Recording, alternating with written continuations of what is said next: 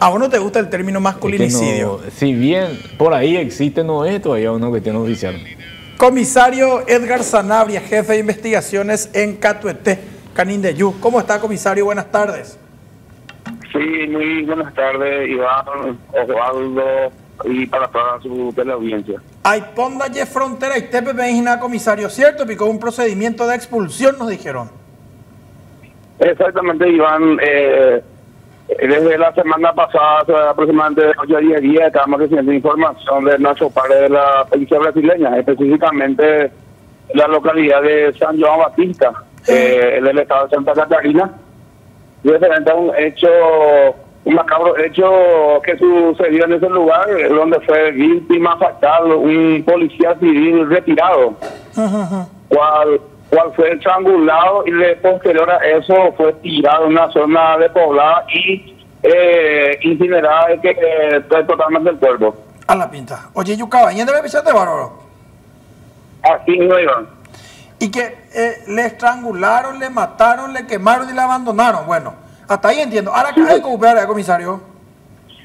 El hecho vengo ocurrió en fecha 11 de, septiembre del 2024. Ah, era muy tierno, pues un poco más de... Era muy 20 días aproximadamente. Entonces, eh, los, nuestros padres de, esa localidad hicieron los trabajos de campo eh, de todo lo que concierne a la parte investigativa. Entonces, eh, ellos encontraron en varias cámaras que ha apostado en distintos puntos de la ciudad y del estado hasta el estado de Paraná el vehículo de la víctima fatal que era una Toyota Hilux de color gordo.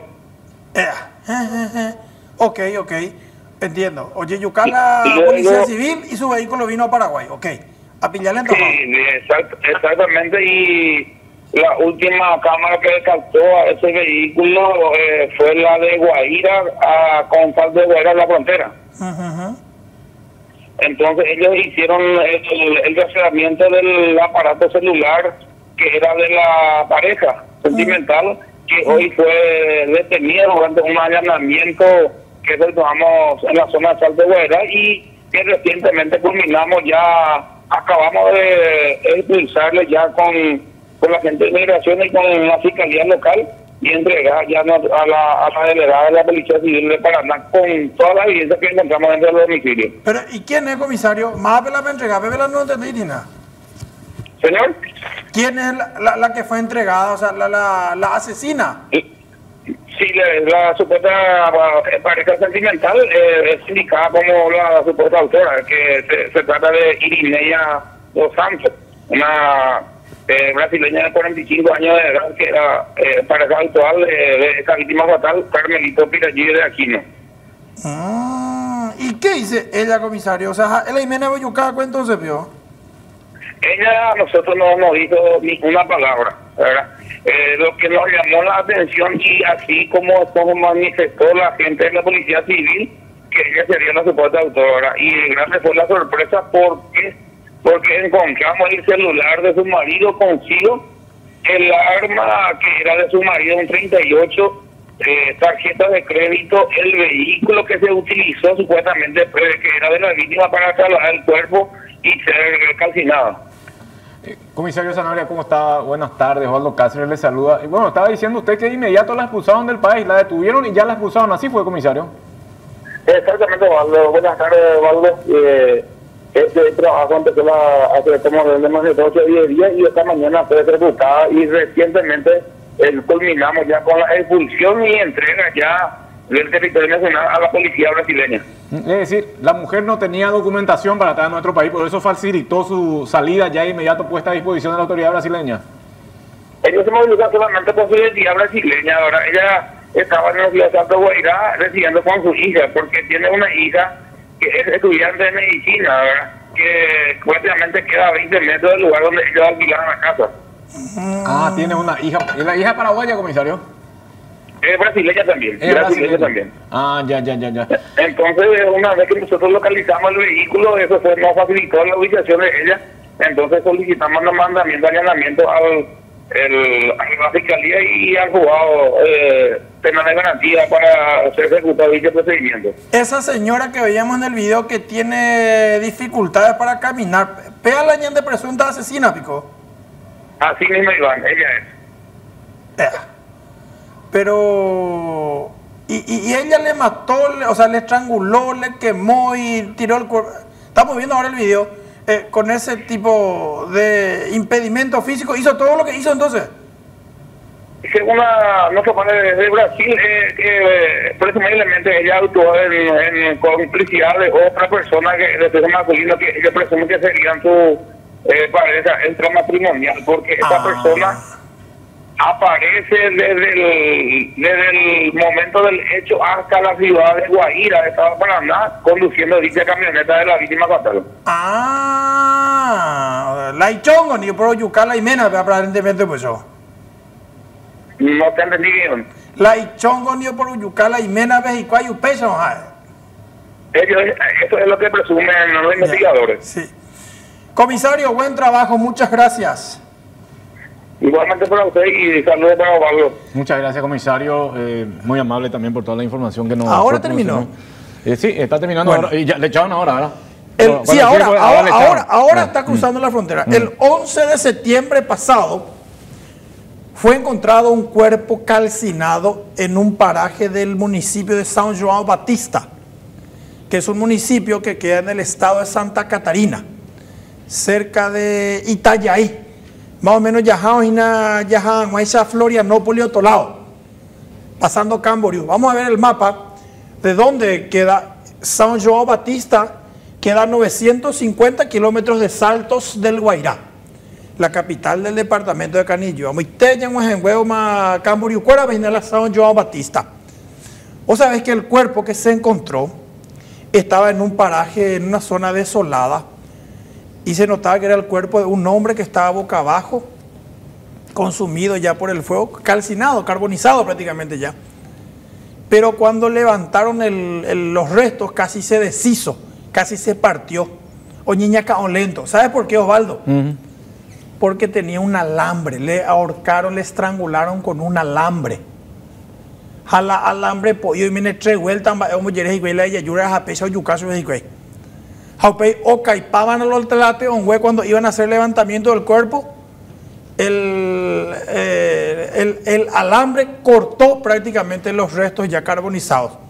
Bueno, una semana después, los restos fueron finalmente identificados. Y ahí se descubrió que la víctima, que el asesinado, resultó ser Carmelito Pirajive de Aquino. Él era un agente de la Policía Civil del Estado de Paraná. Oja Sara tengo retiro de Osvaldo. A la pucha. Oja Sara Moité. Está disfrutando su jubilación. Y inicio. empezaba a disfrutar de su jubilación, joga pona y vehículo pona, japecha gana o mano la ñandera picha. ¿Qué pasó? Desde que se encontró el cuerpo, coincidentemente, su familia desapareció, jola joga, oye, cama, venda y pori. Entonces empezaron a averiguar más las envirecópeas. En Vireconito tiene una hija, pero que vive en Paraguay. eh. Oye por güey. ¿Con quién pudo haber estado esto que aquello en Ambrena? Y ahí es que los agentes de la Policía Civil, la misma fuerza, llegaron a identificar a la esposa del asesinado, Irinea dos Santos de Aquino, de 45 años. Pea, la Tembireco. Extrañamente, oye, yuca la Policía Civil, retirado, Jalas en Mireco, Cañiave, y se pensó incluso que a ella también le pudieron haber matado, le pudieron haber llevado, que fue un asalto, que salió mal, de todo. Oye, por acá, y la, el asesinado y su viuda, número de teléfono, averiguar, how. Y entonces empezaron a seguir los rastros de los celulares. Y coincidentemente ambos teléfonos iban emitiendo señal en esos días. Había sido, ¿dónde? En esta ruta que veíamos nosotros. Desde San João Batista o Ujicuay eh, hacia Curitiba, de Curitiba se fueron hasta Guarapuava, Guarapuava, Cascabel, Cascabel, Guaira, Guaira, Saltos del Guaira. Guaira es la ciudad brasileña que queda frente a Saltos del Guaira. Ah, entonces, ¿o no? Y la Policía Civil, la Policía Nacional de Paraguay, ve hecho a malicia mi señores camaradas, yucajarelas en Vireco, Isla Paraguay, ve. Porque en Brasil, pues sí funcionan este tema las fotomultas y las cámaras que hay en los radares y todo. Mira, pues esta, esta es una foto de uno de los radares. Allá oye cuál por Osvaldo. Sí, perfectamente. La chapa sobre todo. Toyota Hilux Bordeaux con chapa Q y latina F8C36. Y fueron siguiendo, e- este- estas son las fotos que se toman de la cámara de la, del tránsito. Esto es lo que acá se quiere hacer, pero angana nosotros, Osvaldo.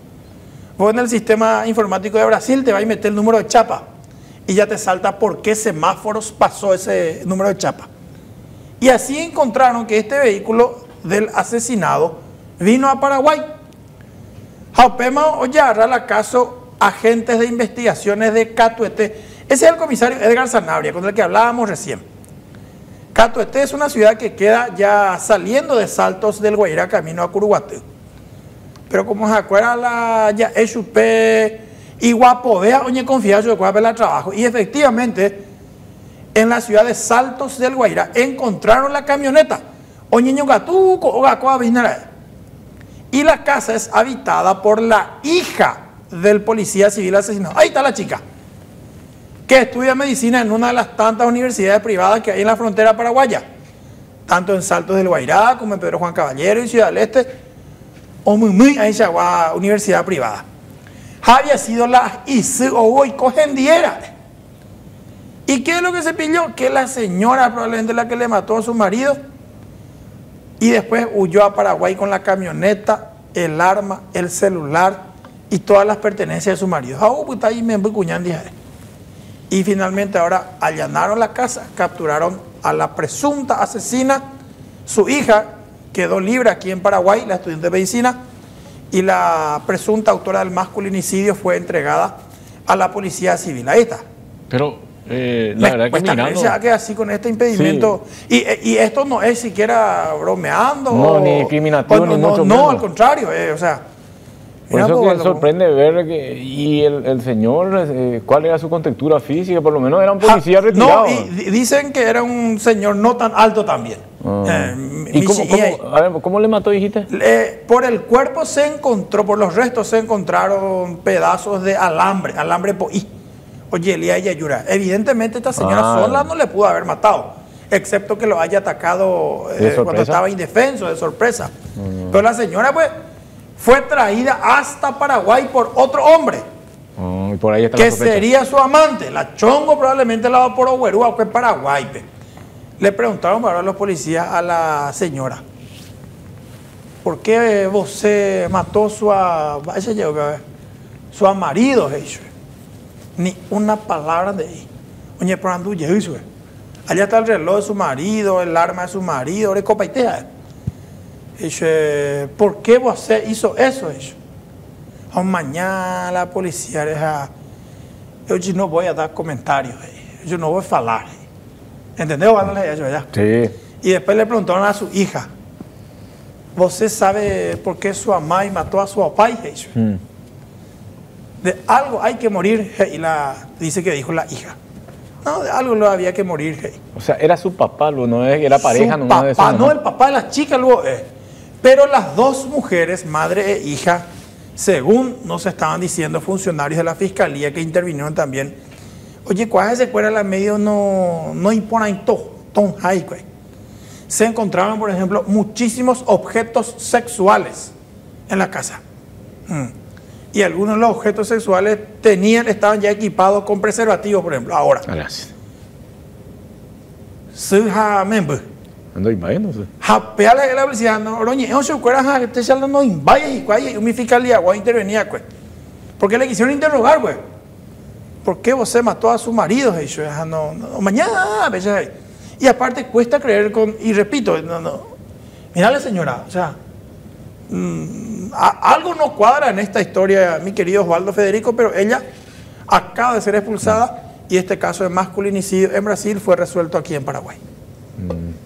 Eh, tuvieron la información. O sea, en Sí, realidad la fue- policía de Brasil le pasó la Claro, información. por la tecnología, pues. porque la- la- las cámaras estas de fotomulta y de radares funcionan. Fíjate nada. Va, y se abuela el vehículo, veo mano, pues, ta, ta, ta, Toyota, el número de chapa, tanto, tanto. Llama y mi computadora, o me lleve la computadora, ve el número de chapa, tic. No, yo- ¿Dónde hubo eso? eso es claro que fue Esa chapa pasó por tal, tal, tal, tal, tal ruta. Pero el hecho de que esté en Paraguay, en, el lugar preciso, lo ven. No, y avisaron que entró por el puente, ahí por de Guaira, a Saltos del Guaira. Ah, pues, ponemos- ahí está el trabajo de campo. Ojo recorrer y ahí buscaban barrio por barrio, ahí Arubi Mantaná, porque ya tenían la información de que una hija vivía en Paraguay. Entonces oye por acá y encontraron la casa donde estaba viviendo la chica, ¡eh! Metí la camioneta, ¿quién es ahí? Montaron vigilancia y finalmente hoy efectuaron el allanamiento.